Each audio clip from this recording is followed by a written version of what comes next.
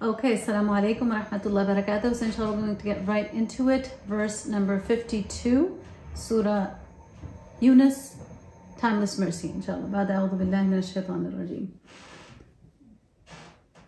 ثم قيل And then it was said للذين to those ظلموا who had oppressed or who had committed wrong ذوقوا taste عذاب the punishment الخلد عذاب الخلد the eternal punishment هل shall you تجزون be requited or recompensed إلا except بما be according ما what كنتم you used to تكسبون earn verse number 52 the wrongdoers will then be told Suffer now the abiding punishment. How else can you be rewarded except according to your deeds?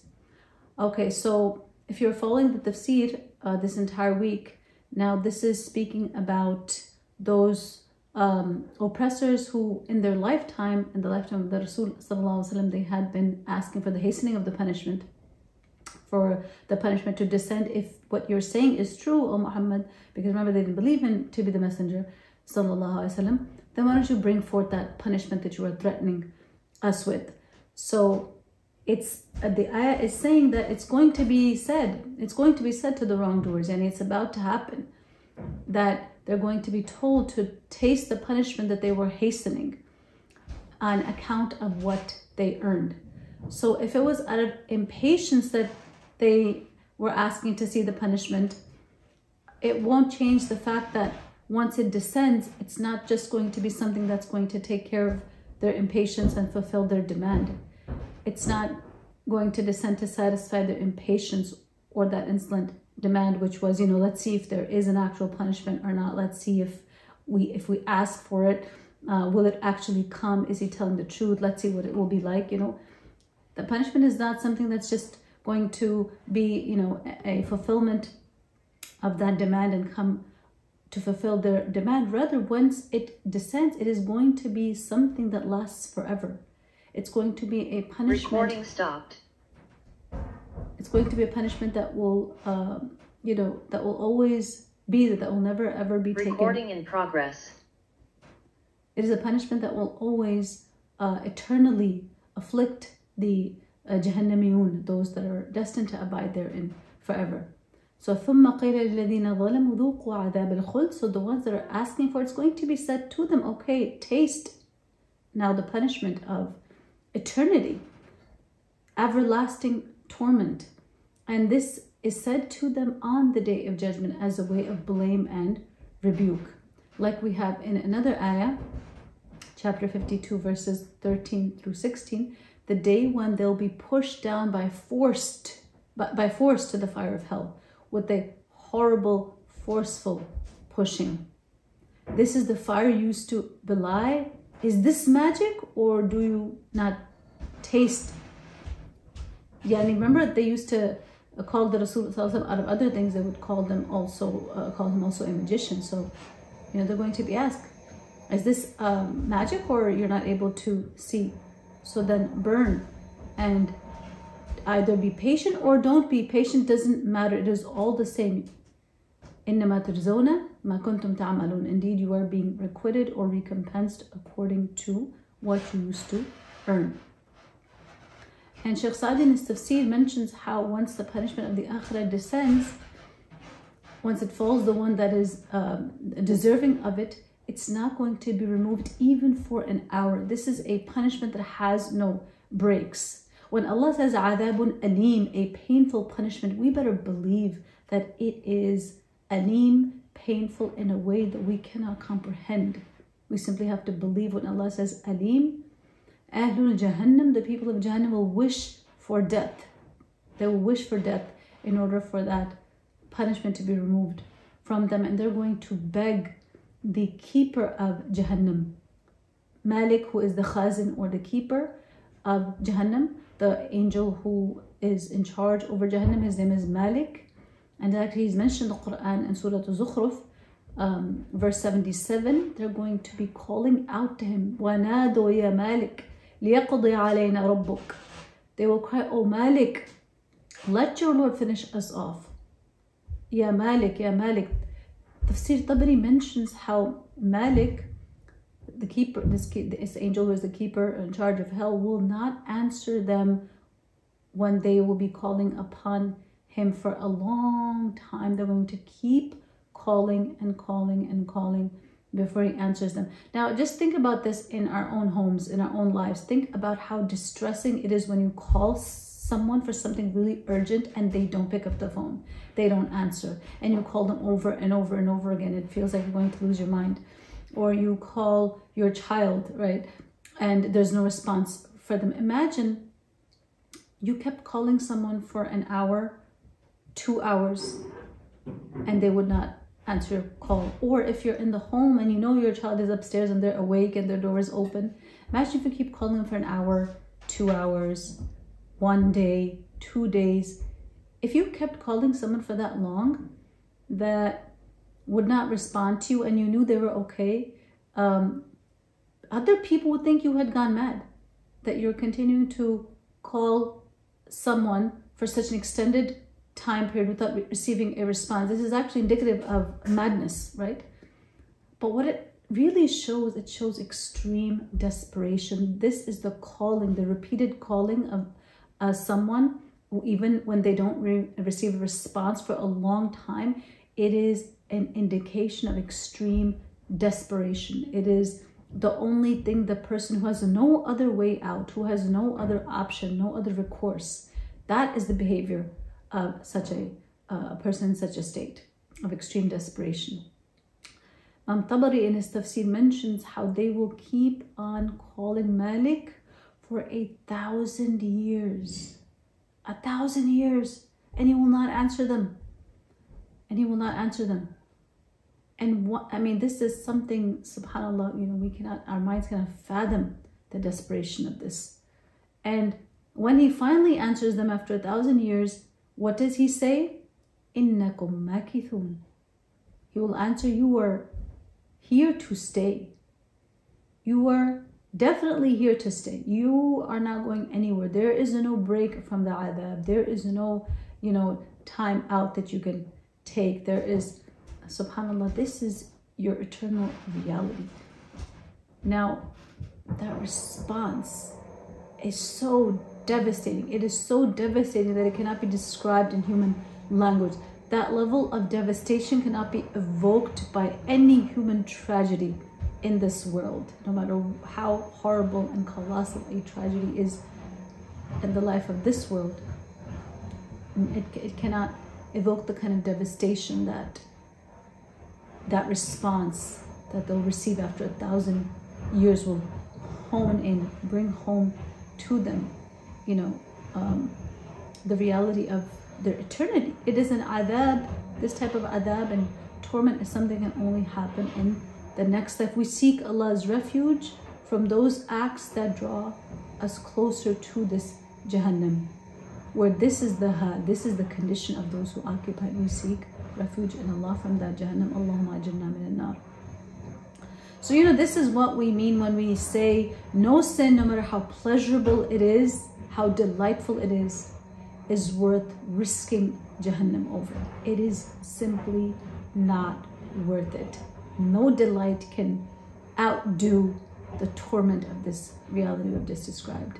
And this is what we can describe according to understandings and our, you know, limited human language. But what it will actually be is something that can only be experienced by the person in it.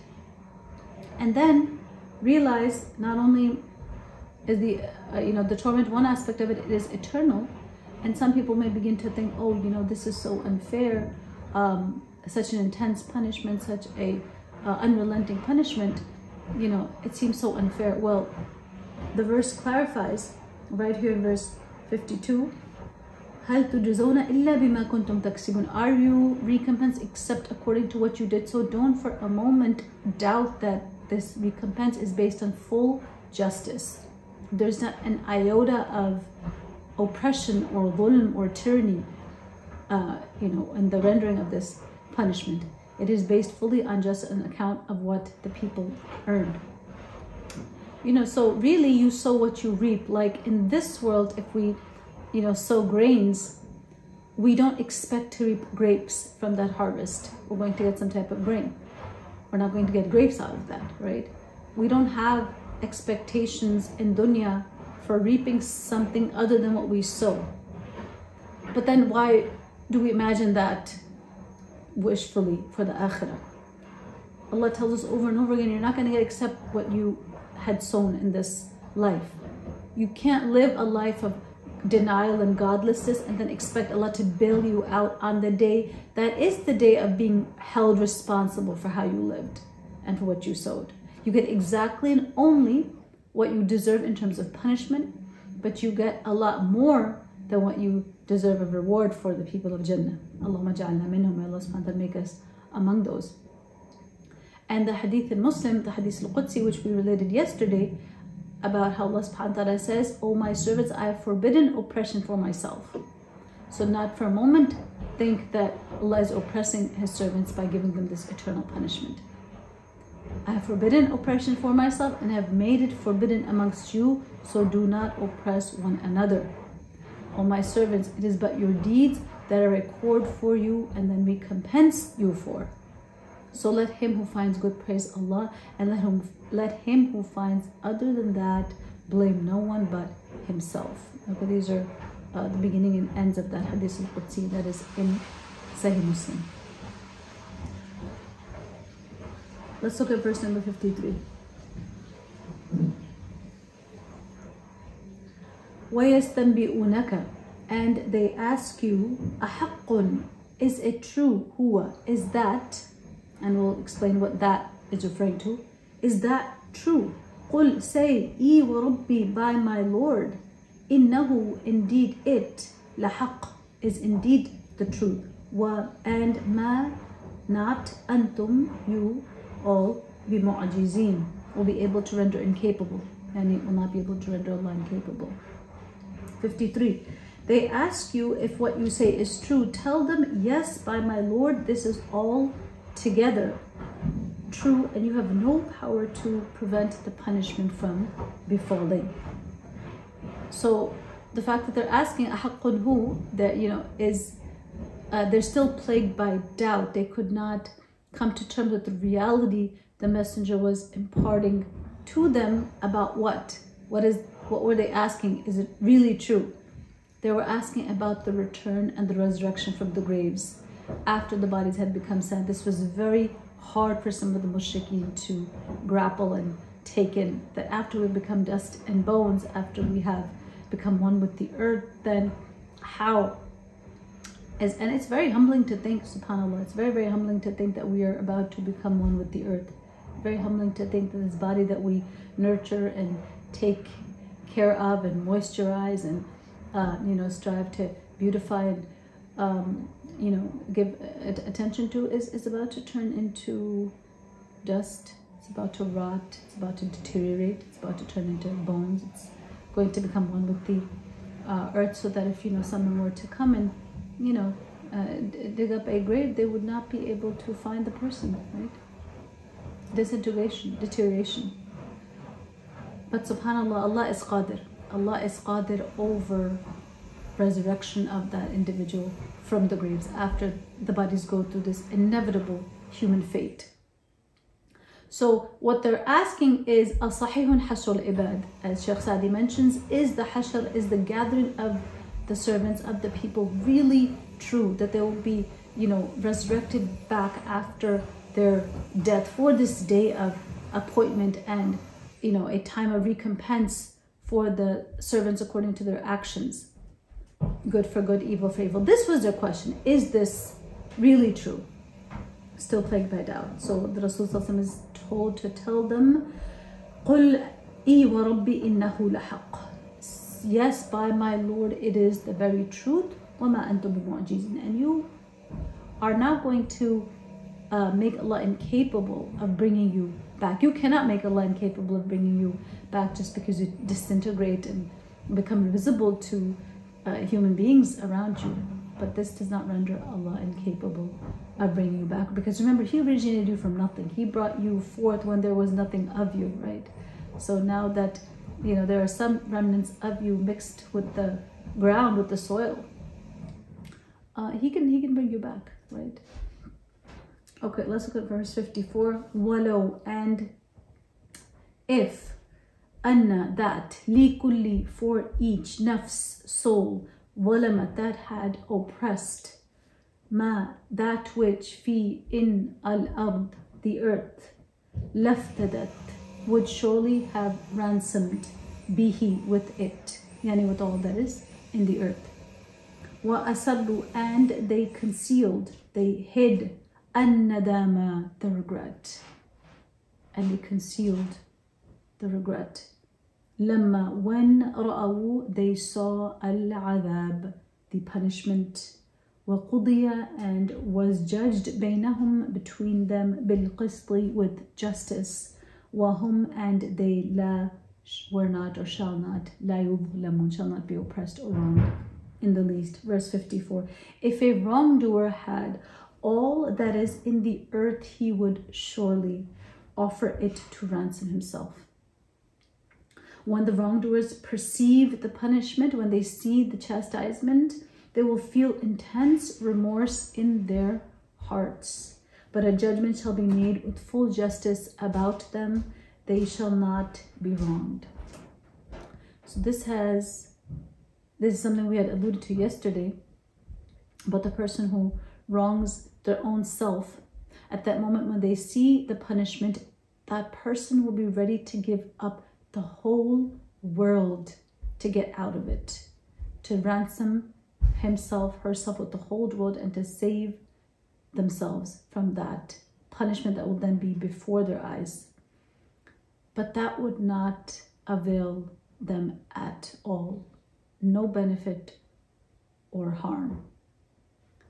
Can, you know, uh, we cannot work deeds of benefit or harm in the hereafter because the jaza the recompense is the only thing that occurs in the akhirah.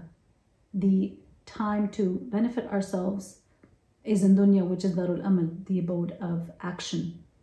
Over there are only the consequences of those actions, either benefit or harm, according to the deeds. The reward and the punishment will rest fully on the good or the evil nature of our actions. SubhanAllah, if you think about this verse, the whole world being willing to give up the whole world, everything in it. The world because of which we neglect our Lord and His remembrance, this world that appears so beautiful and delightful to us, this place where we invest our youth, our time, our energies, we pursue lucrative careers to maximize the pleasure of this temporary stay. This same world will be the same one that a person will want to totally give up in its totality to escape the punishment. It loses all meaning, subhanAllah. The world shall lose all meaning. This is what we had mentioned yesterday um, in the trailer of Sheikh Omar Suleiman's series for this Ramadan. It's a very powerful statement. One of my favorite from that clip is that while in this world, even an atom's weight of good will be accepted from the doer if it is sincere. But on the day of judgment, even the whole earth in gold would do you no good. Subhanallah. We see that right here in this verse, right? And Allah does not ask us to give up the whole world. He only asks us to say La ilaha illallah Muhammad Rasulullah and then remain true to that tes testimony, right? He doesn't ask us to give up the whole. He says, you know, we have our share in this world. رَبَّنَا آتِنَا فِي الدُّنْيَا حَسَنَةً وَفِي الْآخِرَةِ حَسَنَةً Allah give us good in this world and in the next world. This is like Quranic dua we are taught. So we are not asked to give up, give up the world. We can enjoy it and seek the next through it and through its blessings while remembering our Lord. But one who does not understand that this is the way we are expected to live then that person is the one who will want to give up everything, but it shall do him or her no good. So the acts of disobedience that are so tempting and pleasurable in this world become sources of regret and shame in the next world. The following of desires, which is so alluring and enjoyable to us, turns into sources of destruction and distance from our Lord. Not worth it. قد أفلح من زكاها وقد خاب من دساها. We know from Surah Shams, successful indeed is the one who purifies his soul and doomed is the one who corrupts it. And nothing corrupts your soul the way following your desires does. It is total, full, automatic, you know, total corruption occurs for the soul by following one's desires. The emotion that this verse mentions that I want to focus on for a few minutes, that the people will feel when they see the punishment, is the horrible emotion of regret. And they will try to conceal the nadama, the regret. Nadama, regret that they will feel when they see the punishment. They will regret intensely and will try to hide it. And of course, they'll be judged with full justice. Maududi mentions in his tafsir when the wrongdoers perceive the chastisement, they will feel intense remorse in their hearts when all of a sudden they face the torment on the day which they had denied throughout their lives and on that presumption had gone on doing wrong deeds. Not only this, they will also feel very sorry, very regretful that they denied the messengers and brought baseless charges against them who had warned them of it. Therefore, when they witness it against all their expectations, they will find the ground slipping from under their feet and will feel utterly helpless and guilty in their minds because of the remembrance of their wrongdoings and of the pricking of their conscience. In short, their condition will be that of a gambler who turns a deaf ear to the counsel of his well wishers and stakes his all on mere speculation and then goes bankrupt. But such a person has only himself to blame for his pathetic, despicable, sad plight. Now, regret, subhanAllah, regret, I hope none of us have to experience this. It is one of the worst emotions. It is that emotion that has the potential to paralyze, to throw a person into a dark abyss of self pity and grief and debilitating inaction. It can just you know, paralyze you into not doing anything. It can be so heart wrenching. And if you look at look it up online, you know the way regret is described as a negative emotion that occurs when a person believes his or her past actions or behaviors, if changed, may have achieved a better outcome.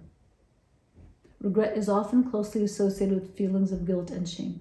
Look at this description. It's a very good description, right? Listen to it again. Regret is a negative emotion that occurs when a person believes his or her past actions or behaviors, if changed, and had they been different, may have achieved a better outcome in the now that they are in. So, you know, it's like the idea when we talked about the cult of super productivity. It, we said the whole art of productivity requires you to win against yourself, to behave and be productive and act in a way that your future self won't hate your present self, right? And if you look at the, uh, I was looking at an abstract of an official academic uh, paper in psychology. It was titled What We Regret Most and Why. And the thing, one of the things it mentions in its abstract is greater perceived opportunity within life domains evokes more intense regret.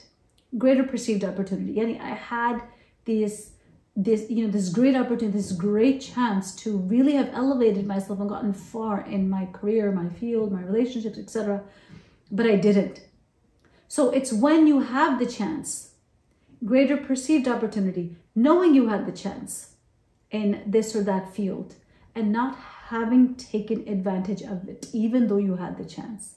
That evokes the most intense type of regret later on.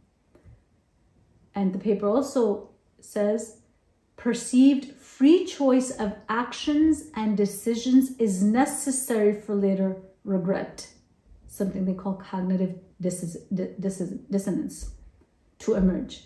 Perceived free choice of actions and decisions is necessary for later regret to emerge. And, you know, I was looking at this paper and I was like, subhanAllah, this is so accurate, you know.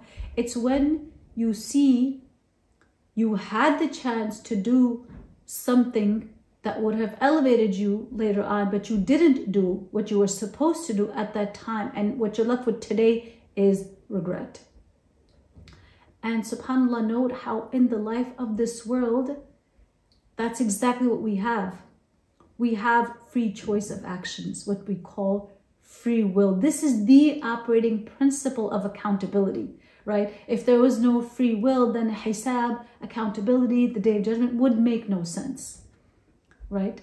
If, if a person had the choice to believe or not, um, because we do have the choice to believe or not to believe, that is why hisab makes sense, right? And this is why those who lose out on that day are the real losers, the eternal true losers, khasirun, because um, they had this full opportunity to make it big, to make it to paradise, but they did not avail of that opportunity. This is why life is so precious.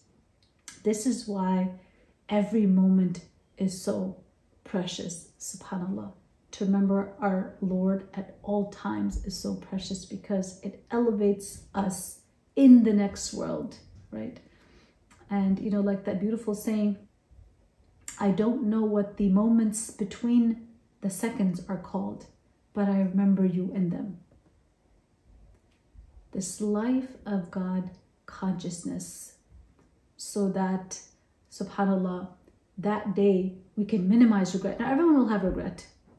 Uh, this is the unfortunate but inevitable reality of humanity on that day because every one of us at the end of the day could have done more, could have started practicing earlier, could have been more conscious of Allah, could have done, you know, more than we will wind up doing uh, at the end of the day, right? Which is why we need Allah to forgive us. But going back to the concept of free will, which is why there is this intense regret later on, you see in Surah Al-Kahf, وَقُلِ الْحَقُّ مِنْ رَبِّكُمْ And say, O Prophet, this is the truth from your Lord. فَمَنْ شَاءَ فَلْيُؤْمِنْ وَمَنْ شَاءَ فَلْيَكْفُرْ So whoever wills, let him believe, and whoever wills, then let him disbelieve. Complete free choice, subhanAllah, complete free choice. But just like in dunya, we regret our actions when we see the consequences of our choices. Akhirah, if you think about it, is the ultimate abode of consequence, right?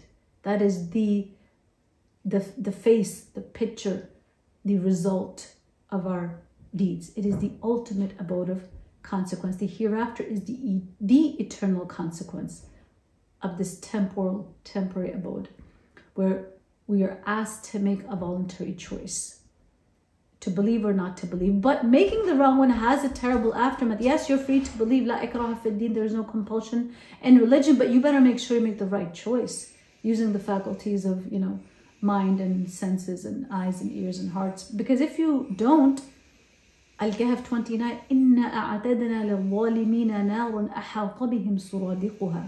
Surely we have prepared for the wrongdoers a fire whose walls will completely surround them. You know, sometimes I think of the claustrophobia I have, the claustrophobia many people have. Jahannam is not just horrible because of the punishment and because it is, you know, so horrible we cannot describe it, but it is also a claustrophobic experience of punishment. Ahata bihim, suradiq ahata, encircling, enclosing, a fire whose walls will completely enclose, surround them.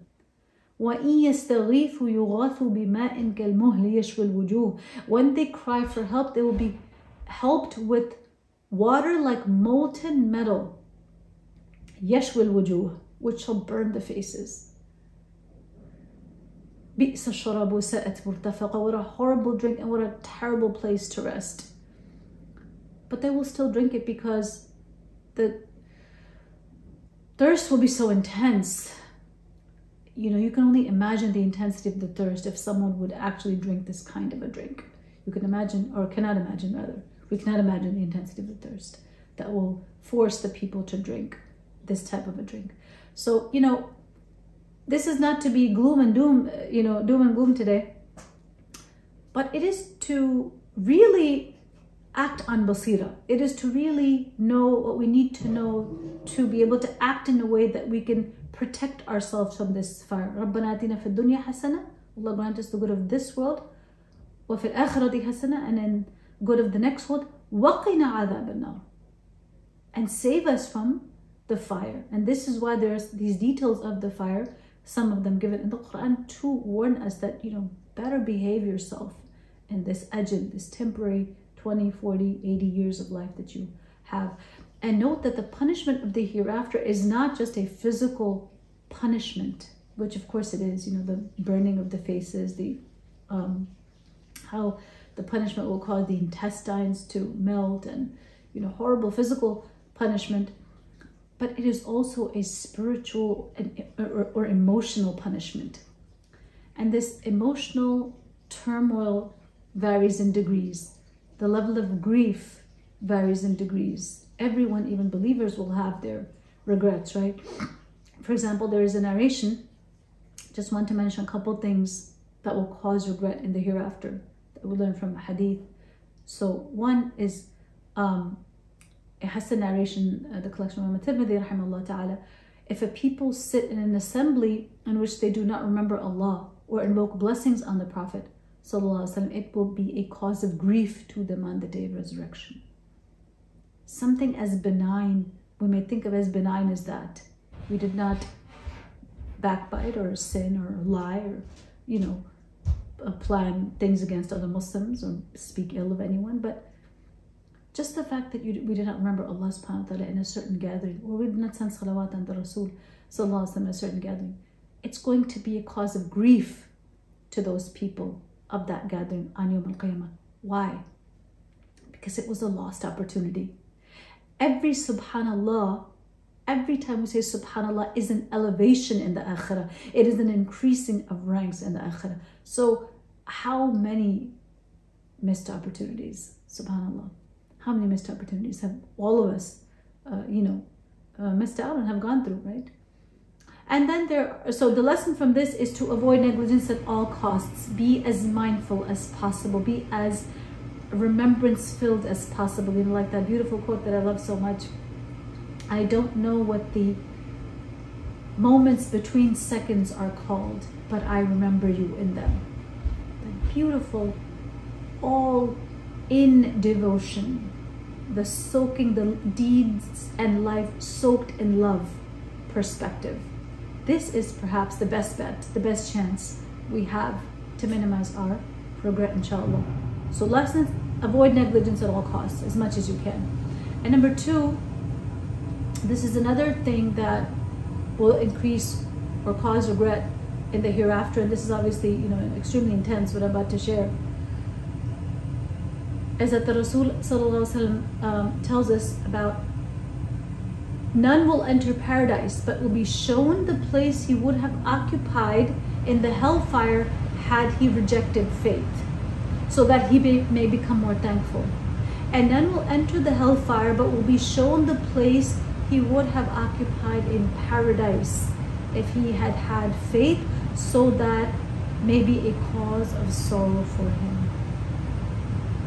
So every Jahannami, every person of Jahannam, of the hellfire, will be shown the place they could have had in Jannah if they had had Iman. And this will be, a, can you imagine the intensity of the sorrow, the ultimate regret, which will exponentially intensify the experience of punishment of this person? We seek Allah's refuge from that. So remember, Jahannam is not just a physical torment, which it is, it is also an emotional, spiritual, mental torture as well. We seek Allah's refuge from this. Let's look at verse number 55. Allah, indeed, inna, again indeed, lillahi, for Allah, ma that, fi, in, as-samawat, the heavens, wal out, and the earth, Allah, indeed or most certainly, Allah, inna, indeed, these are all uh, adat or these are all particles of emphasis. Wa'ad Allah, the wa'ad, the promise of Allah, haqq, is true. ولكن and but أكثرهم most of them لا do not يعلمون do not know verse 55 indeed all that is in the heavens and the earth belongs to Allah and most certainly Allah's promise will be fulfilled though most people are not aware of it to Allah belongs all that is in the heavens and the earth he manages manages it as he wills determines predetermines as he wills and will judge with full justice his creation when he wills. Most people are not aware of this fact that for Allah is everything that is in the heavens and the earth, that his promise is true, right? The ayah tells us that most people don't know.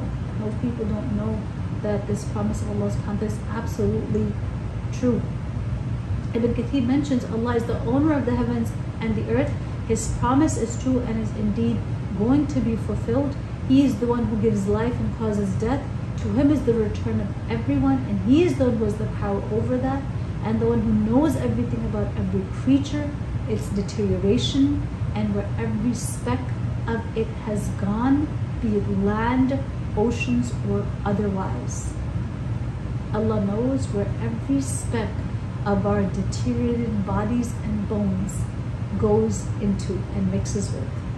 He is Qadir, all capable over all things. He is all capable over this thing that they doubted, this regeneration of all our body parts with every atom's worth of DNA, even if its dust were to be scattered and spread over the earth. And this reminded me of the hadith of that sinner who feared Allah subhanahu wa ta'ala. The hadith is in Muslim and Bukhari and it says a man sinned greatly against himself and when death came to him he made his sons in charge of something right he charged his son saying when i have died burn me then crush me and scatter my ashes into the sea for by allah if my lord takes possession of me he will punish me in a manner in which he has punished no one else so they did that to him then he said, Yani Allah said to the earth,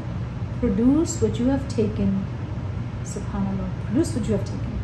And there he was. That man came together, all assembled back, you know, from what he was. And Allah said to him, He said to him, Allah asked this man, What made you do what you did? He said, Being afraid of you, O my Lord, being frightened of you. And because of that, he forgave him. Because of that, Allah forgave him. Subhanallah. So this shows how Allah is Al-Qadir, how He is all powerful and capable beyond our limits of logic. We think that if we were to scatter ourselves all over the uh, you know world, literally in the land and the oceans, that you know this how is it possible then to bring us back and only our DNA, right? Our specks, our parts, not mixed with anyone else.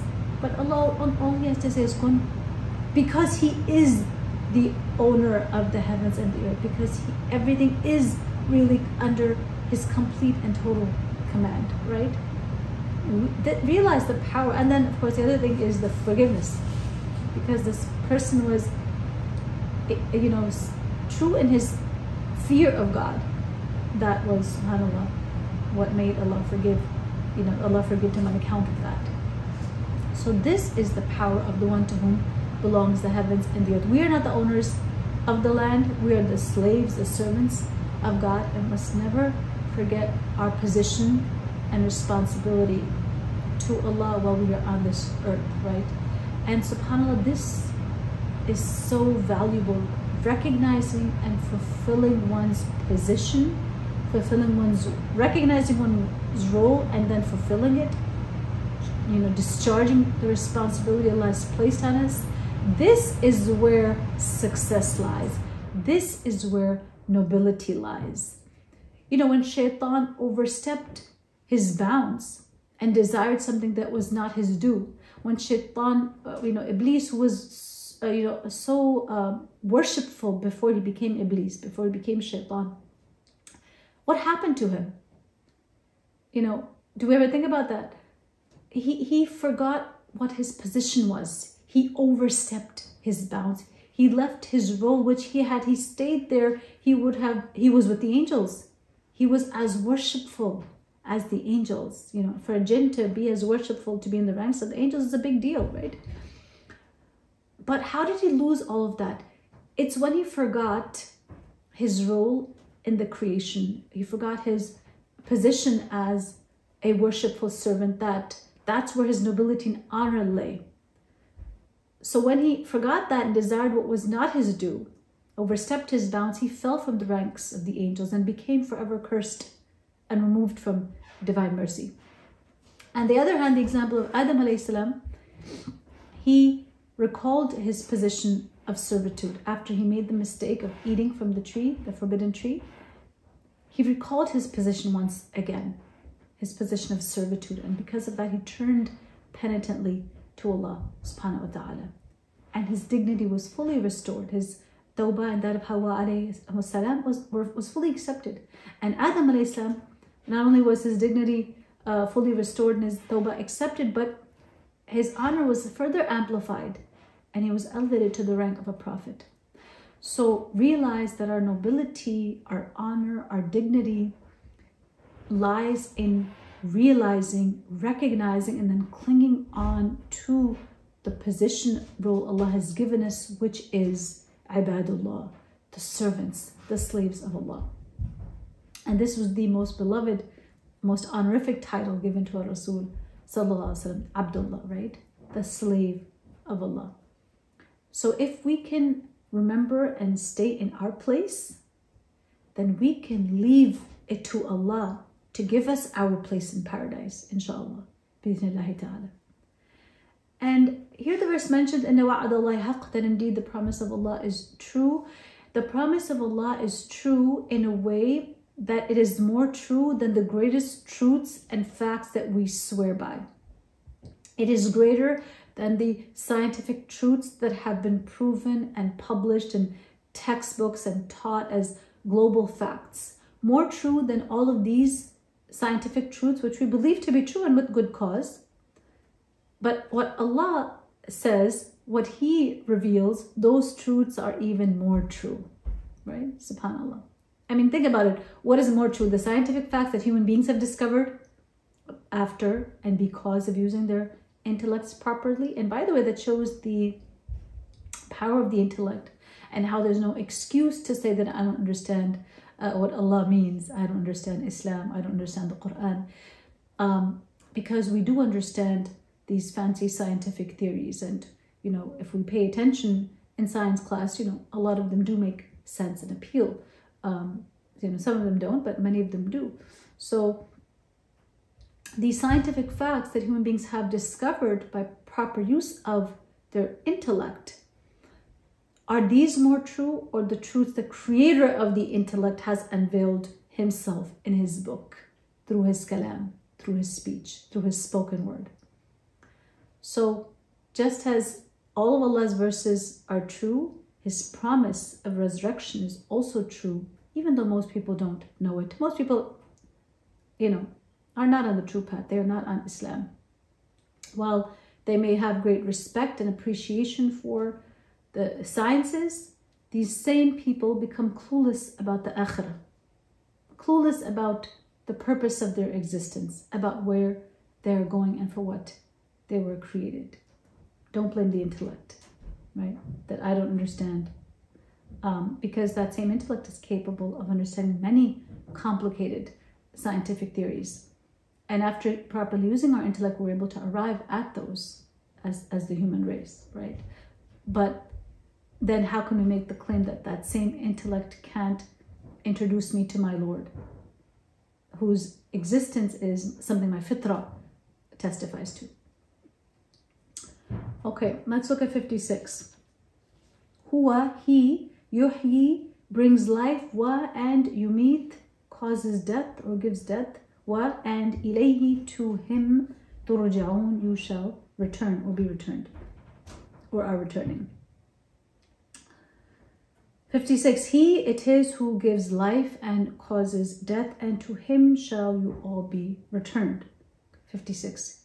He is the beautiful, all powerful, all capable grantor of life and death, and to him is the return. You know, you cannot escape your roots, you cannot change who you are and where you came from. And at the end of the day, all of us go back home regardless of where we spend the day, regardless which countries we visit and tour, at the end of the day, we all come back home. And we can't change who we are and, you know, where we belong. Similarly, no matter how long we stay in this world, our being began with a word from him, kun, and it shall be terminated by him. So regardless of how long we stay here, we're going to, going to have to go back to where we came from. We're going to be resurrected once again by his command. And we will then be ushered into his presence on that day, that no one will be absent. We'll be ushered into his presence on the day when no one will be absent. And to him we shall be returned. That is the return to our true home, the abode that the hearts of the believers long for, the abode that the hearts of the disbelievers don't believe in, but it does not change the common shared destiny of, destiny of humanity, which is that we are all walking back to Allah subhanahu wa ta'ala, whether we know this or not, whether we accept this or not, whether we live lives according to this reality or not, that the path is the same. And that is the path of return to our Lord. And everyone in Jannah will know their home better than they know their homes in this world. And we ask Allah subhanahu wa ta'ala to grant us the ghuruf of Jannah. The ghuruf are those special residences of Jannah. You know, Jannah is not just one type of accommodation, you know. Just like here, the more money you have, you can uh, afford a three-star or five-star hotel, um, you know, or maybe a suite or or maybe a loft or maybe a penthouse, right? Depending on. Um, so these are kind of like the penthouses of Jannah, right? The Rasul said in hadith in Bukhari and Muslim, which means the dwellers of Jannah will see the upper abodes of Jannah as you see stars in the sky. Subhanallah. The ghuruf, hadith mentions the ghuruf. So ghuruf are like the penthouses, like the upper abodes of Jannah. Subhanallah.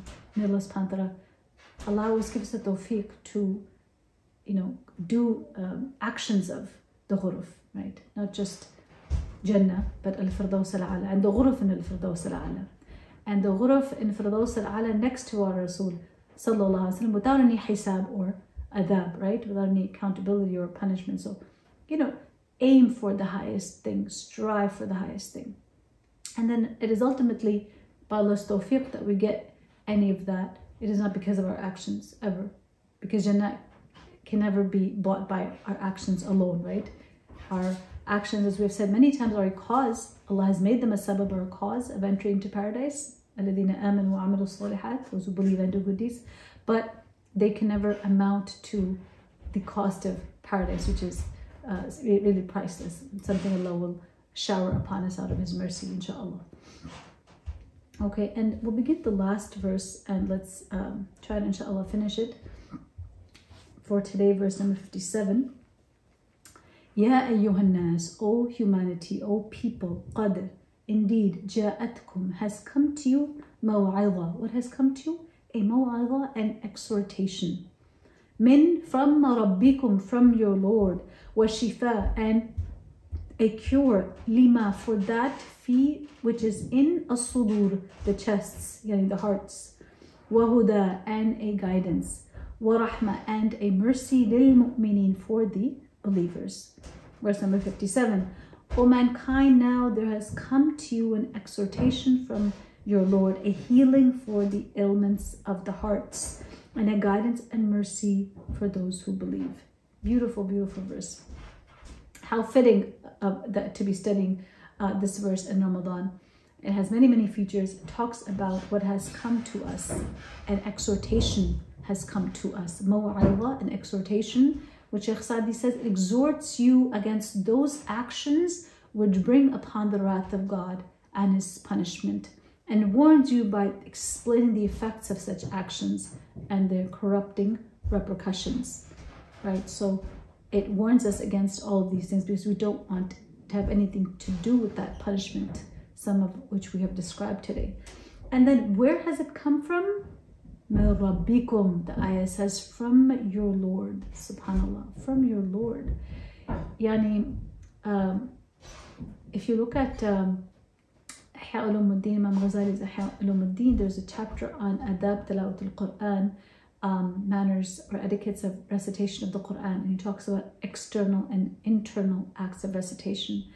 And the first couple that he mentions that I wanted to uh, share today, number one, he says, we must have a reverence for the speech of Allah subhanahu wa ta'ala, to know the power, to know the grandeur and majesty of his speech, and then his great mercy in revealing that majestic speech from his throne into this world for people to understand.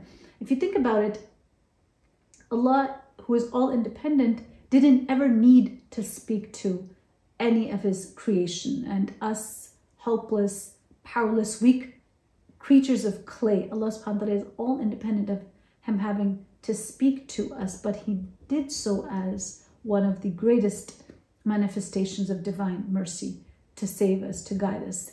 He took his eternal attribute of speech and revealed it in human words for us to comprehend.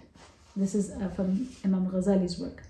The power of his words would destroy everything had he not concealed that, as in the case of Musa salam and the mountain. So then Imam Ghazali mentions how Allah subhanahu wa ta'ala in his mercy, you know, revealed his speech in human words so that we could uh, you know, understand them and take them in and recite them. Um, because Allah in his essence and his speech is part of his essence, his kalam is part of his essence, that is something that cannot be borne by the human being. As you know from the example of when Musa salam asked Allah to allow him to see him, and Allah subhanahu wa ta'ala said, Lantarani, you can never see me, but look at the mountain.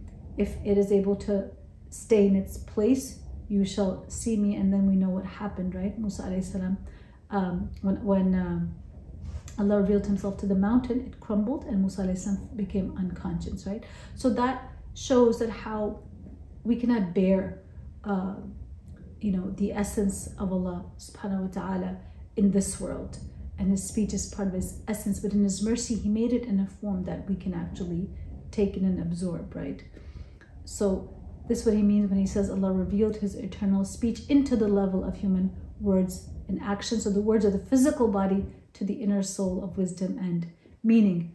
In short, the word of God is like an unseen emperor in the deepest cover, whose face is not visible, yet whose authority is all prevalent. It is a scorching sun whose rays are blazing while its body is concealed. It is a radiant star guiding the lost ones on their journey. It is the key to invaluable treasure, a life elixir whose sip will ward off death forever, a remedy for disease which leaves no ailment when taken.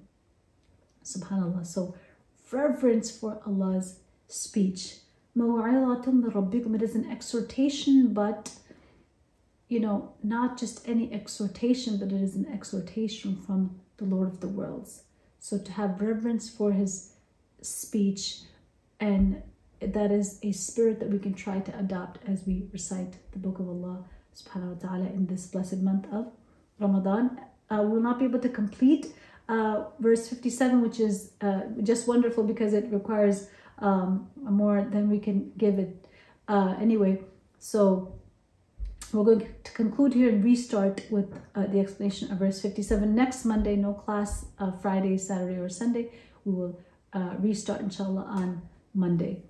Um, so may all of you continue to have a blessed Ramadan where we really try to remember Allah subhanahu wa ta'ala in all the moments of our wakefulness, inshallah. سبحانك اللهم وبحمدك لا إله إلا أنت نستغفرك ونتوب إليك السلام عليكم ورحمة الله وبركاته